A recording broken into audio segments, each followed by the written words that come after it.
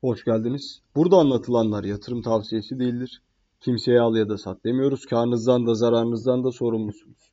Abone olup videoyu da beğenebilirsiniz. Teşekkür ediyorum şimdiden. Şimdi e, burada Ripple'la XRP ile alakalı açıklamalar var. Aynı zamanda Gary Gensler'ın yani e, Sage Başkanı'nın yapmış olduğu bir takım açıklamalar mevcut. Bunlar üzerine konuşacağız. Bunlardan ilki Gian Hoffman arkadaşlar. Chia Network'ün kendisi CEO'su olur. Konuyla alakalı açıklama yaptı. Bundan bahsedip devamında e, olayın gidişatı işte Ripple gerçekten kaybedecek mi? Kaybederse ya da kazanırsa ne olur? E, piyasaya etkileri gibi durumlardan bahsedeceğiz. Şimdi e, bunlardan ilk yani ilk mesele kendisi yani Gene Hoffman dedi ki Ripple büyük ihtimalle seç karşısında kaybedecek dedi.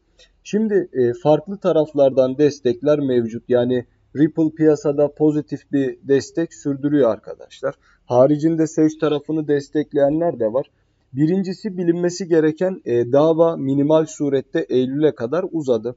Tabi Mart ayında ilk evvela bunun yani davanın biteceğine dair söylentiler vardı ama işlerin o şekilde olmama ihtimali bir o kadar yüksek arkadaşlar.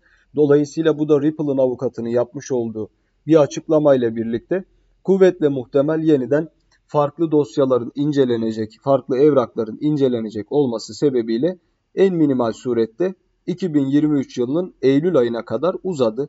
İlerleyen süreçte bu mahkeme süreci biraz daha da e, uzayabilir. E, bunu da unutmamak lazım. Şimdi bir diğer mesele tabii ki menkul kıymet mi değil mi? E, bu konuyla alakalı zaten mahkeme süreci tartışıyor. Ancak burada e, XRP gerçekten de bir menkul kıymet değil arkadaşlar. Yani e, bu şekilde tanımlanamaz. Yani doğrudan doğruya piyasanın burada e, merkezi olmayan bir piyasadan bahsediyoruz. Kriptonun tamamı nitekim bu şekilde dolayısıyla e, sen tutup vergilendirme yapmadın diye vesaire ya da zamanında bir takım önlemler almadın diye bunu kayıt dışı bir menkul kıymet olarak e, iddia edemezsin. Kaldı ki ilerleyen süreçlerde seç e, kendiyle çelişecek noktalara kadar gidecek. Şimdi burada e, Ripple'la Sage arasındaki mahkeme sürecinde tabi e, Ripple kaybed e, kazanırsa ne olur? Ripple'ın kazandığı süreç içerisinde arkadaşlar bir XRP coin'de tabii ki inanılmaz derecede yükselişler gözlemlenir. Beraberinde zamanında e, XRP'den çıkan, Ripple ağından çıkan e, kurumsal yatırımcılar yeniden Ripple'a büyük bir şekilde akın eder. Bu da uzun vadede tabii ki XRP'yi daha da güçlendirir e, demek lazım. Bir diğer mesele piyasaya burada genel bir güven ortamı gelir durumdan kaynaklı ve tabi Bitcoin ve altcoin'lerin tamamına bir e, kurumsal ilginin artma ihtimali daha da yükselecektir arkadaşlar. Yani e, boğa süreci içerisinde piyasanın tamamında böyle bir olayın bir boğa katalizörü oluşturma ihtimali yüksek olacaktır. İki, bu da ihtimal dahili uzlaşmaya gitme hususu.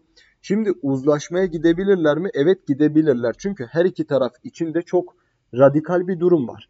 Birazdan kaybederse ne olacak kısmını değerlendirirken XRP kaybederse burada e, sıkıntı şöyle. Adamlar ABD pazarlarından çekilecek. Tamam mı? Böyle bir sıkıntı var. Seç kaybederse ne olacak? Piyasa üzerindeki hakimiyeti resmen yok olacak adamların. Dolayısıyla her iki tarafta da e, sıkıntılar var arkadaşlar. Bütün bunlar olurken e, mahkemenin süreci böyle uzadıkça e, bir uzlaşmaya gidilme ihtimali de olacaktır. Böyle bir durumda da tabii piyasa yine rutin seyreder ancak XRP'de yine ciddi yükselişler gözlemlenir. Dava mahkeme kaybedilirse ne olur? Bu XRP üzerinde ciddi bir çakılma oluşturmaz ancak ABD pazarlarından çekilecek olduklarından dolayı uzun vadede XRP'nin e, düşüşleri gözlemlenebilir ve e, gitgide piyasada elemine olacağı bir sürece girme ihtimali yüksek olacaktır. Bir.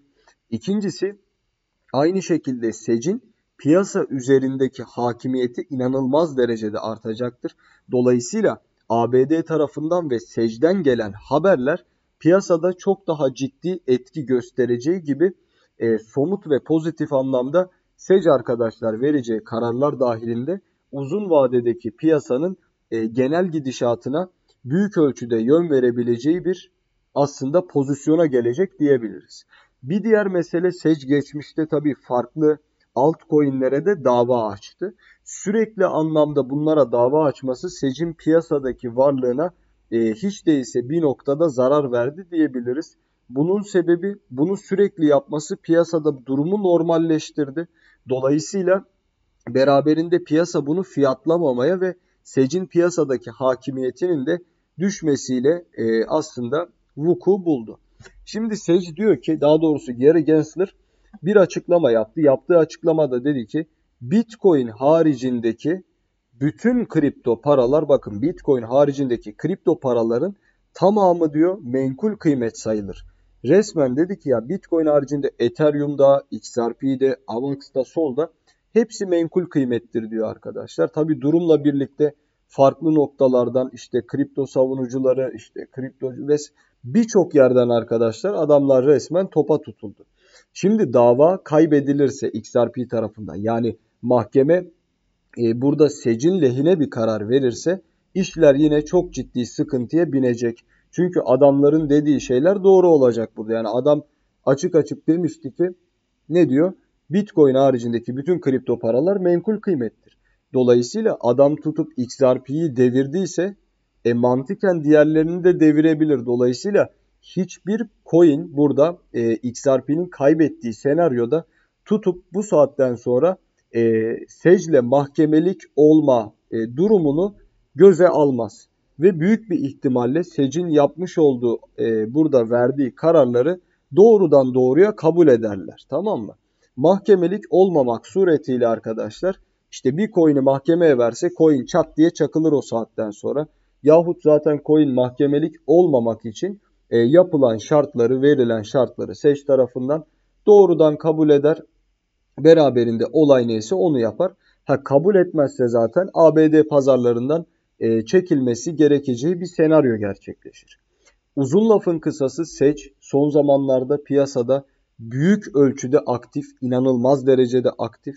Fakat burada e, piyasaya yön vermesi ya da verememesi hususunda arkadaşlar Ripple ile Sage arasındaki dava zannedilenin çok daha ilerisinde bir önem arz ediyor. Nitekim Sage'in yapabilecekleri doğrultusunda e, burada ABD'nin çıkarına hareket edeceği gayet açık. Farklı ülkelere ambargo uygulamaya dahi e, kendi keyfi çıkarları doğrultusunda gidebilecek kararlar alabilirler. Bunun nedenli fiyatlanacağı olumlu ya da olumsuz halde piyasada seyrinin devamını görebileceğimizde e, Ripple ile Sage arasındaki mahkemenin sürecine ve sonucuna bakıyor. İzlediğiniz için teşekkür ediyorum. Abone olup videoyu da beğenebilirsiniz. Bol kazançlar dilerim izleyen herkese. Hoşçakalın.